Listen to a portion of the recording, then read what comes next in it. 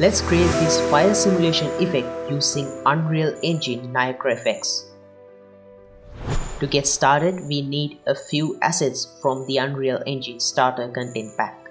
To add them to your project, in Content Browser, click Add and select Add Feature or Content Pack. Here you can select Starter Content and import them to the project. We are going to use some materials from this starter content. To create Niagara system, right click on content browser and select Niagara system. Select next, add fountain emitter and then select finish to add the system with a fountain emitter. I call the Niagara system NS Fire Simulation Tutorial, NS for Niagara system. Open the Niagara system. Go to window and select preview scene settings.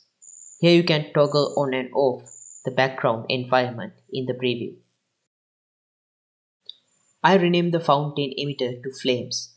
Set the spawn rate to 50. In initialize particle, I set the min and max lifetime to 0.3 and 0.8 and set the random sprite size to 40 and 60. Under add velocity, I decrease the min and max velocity to 80 and 150. Now our particles are dropping due to gravity. So let's delete gravity force. Increase the drag to 0.5. This will add some resistance to our particles movement. To add some noise to our particles movement, in particle update, click this plus button and add curl noise force module. Set its strength to 100 and noise to 20. In our sprite render module, for the material, search for m underscore fire underscore sub UV material. This material is made out of this 6x6 sprite sheet texture. So in our sprite renderer settings, under sub UV, set the image size to 6 and 6 and check this blending option. Then in the particle update, add sub UV animation module. Enable these two and set the end frame to 35 because we have 36 sprites in the sprite sheet and since their numbering start from 0, they go from 0 to 35 select sprite render from here. To animate the sprite size with time, add scale sprite size module and change the curve to something like this. This will change the sprite size based on their age. Now add color module. Click on this arrow and choose color from curve. This will turn our color into a color ramp. Change this ramp to set the flames color with their age. You can click on top part of the ramp to add more colors. Bottom markers will control the opacity. So I set the colors to start from white and then go to yellow, orange and finally red. This will give our flames a nice flame look. Drag and drop our Niagara system to the viewport to see it in action. That's it for the flames. So let's move on to create the smoke.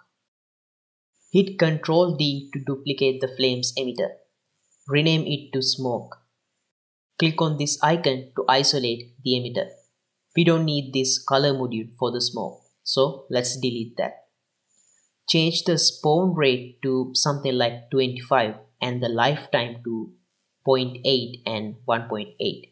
This will make smoke particles last longer than flames. In sprite renderer settings, search for smoke and select m underscore smoke sub UV material from the starter content. Since this material uses 8x8 sprite sheet, we have to change few values. Change the sub image size to 8 and 8.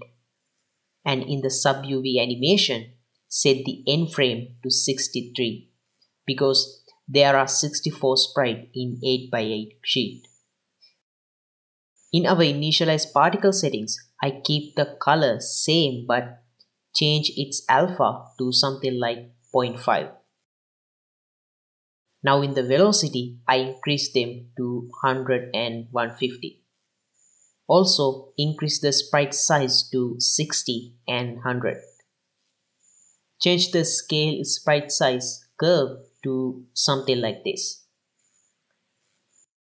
And also increase the drag to 0.8. In the scale color, I change the alpha curve to go like this. And for the curl noise, increase the frequency to 50. And if you want to use the GPU for these simulations, in emitter properties, change the calculation bounds to fixed and sim target to GPU sim. Take the emitter out of isolation, save the system and just like that, we got our smoke as well. To add those flying fire debris, right click on empty space, add emitter and select fountain. Let's also change this to use GPU. Here I change spawn rate to 60 and lifetime min and max to 0.8 and 1.8. Since these particles need to be very small compared to flames, I set the random sprite size values to 0.2 and 0.8. Delete the gravity force. And in the velocity, change the min and max velocity to 100 and 150. Add a curl noise and set the strength to something like 200 for some extra movements. Also set the frequency to 25. To add color to these particles, let's copy our color module from flames and paste it here in the particle update. And that's our fire debris or whatever you call that. Now our fire is generating some heat around it which leads to heat distortion. So for creating that heat distortion effect, I duplicate flames emitter. Isolate it and rename it to heat distortion.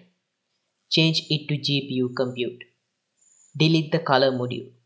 Set the lifetime to 0.4 and 0.9 and increase the random size to 50 and 70. For shape location, you can keep the sphere radius at 8 but here I increase it just a bit to 9 and increase the minimum velocity to 100. I change the alpha curve in the scale color module to go like this. In sprite renderer, change the material to M underscore heat distortion. In this heat distortion material, in order to see the distortion, you have to change this first dynamic parameter value to above zero. And another thing is this material does not use any sprite sheet textures, which means here in our render settings, we have to set the sub UV size back to its default value, which is 1 and 1. Untick the checkbox and delete the sub UV animation module. At the moment, we can barely see the distortion since I set the dynamic parameter value to 0.5 in the material. But if you want to control that from the emitter, you can add the dynamic material parameter module. You can do a lot more with it, but here I just set the value to 1. And to see the distortion clearly in the renderer setting, you can change the sort order of the emitters. You can find that option all the way here in sprite renderer settings. I set this to 1. So we got our heat distortion and one more step to go. If you look at both of these simulation, there is one big difference. The left one is casting light to the ground as it should because it's fire. So in order to achieve that light effect, here in the Niagara system, I use our flame emitter and add a new renderer, light renderer. By the way, this only works with CPU sim calculation. So if you have set this to GPU, then you have to change it back to CPU. You can already see the effect just a bit here, but to see it clearly in light renderer settings, I uncheck this use inverse square rule. Now you can see the area this light is casting. I check it back and decrease the radius. In color add, I add 2 to the first slot. This will increase the light cast strength, making it more red. As you can see, our fire simulation is working perfectly. Before we go, let's finish this with a cool feature. Go to Niagara System, pick a good frame of your simulation and click this thumbnail button. And Unreal will use that as our Niagara System thumbnail. If you'd like to see how I created a similar fire simulation effect using Blender's simulation node, check this video out. So, I hope you learned something cool, something new. I mean, that's what we like to do. We not only create stuff, we let you create with us. Hit the like button, comment your thoughts below, and don't forget to subscribe to HellFX Learn so you won't miss out when the next video drops. Until next time, see you later.